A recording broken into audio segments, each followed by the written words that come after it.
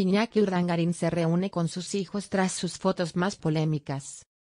Semana publica este miércoles fotos exclusivas de Iñaki Urdangarín junto a tres de sus cuatro hijos, una escapada express que tuvo lugar en Barcelona, y que ha servido para que Iñaki firme la paz con su hijo Juan.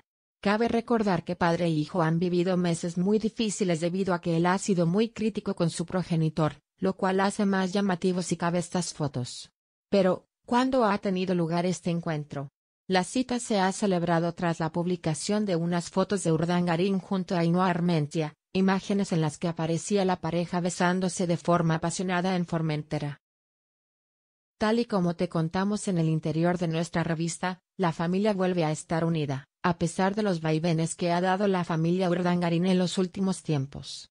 En especial desde enero, fecha en la que se conoció la existencia de Ainhoa Armentia, la mujer que enamoró profundamente a Iñaki Urdangarín.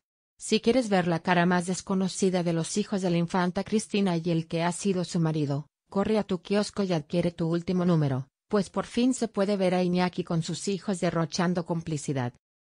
Pareciera que nada ha pasado entre ellos, que todos han sido capaces de pasar página, y olvidar las rencillas que les separaron en el pasado. Compartieron confidencias, charlas y disfrutaron de un divertido almuerzo del que este medio conoce todos los detalles en exclusiva. La familia ha vuelto a ser piña, de hecho, vuelven a ser los de siempre, poniendo fin así a meses de distanciamiento.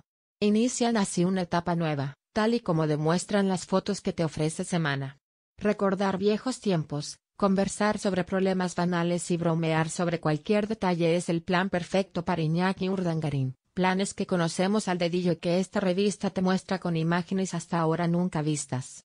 Sabemos cuál ha sido su hoja de ruta de los últimos días, un croquis que no te puedes perder. Pablo, Miguel y Juan han querido mostrar su apoyo a Iñaki Urdangarín.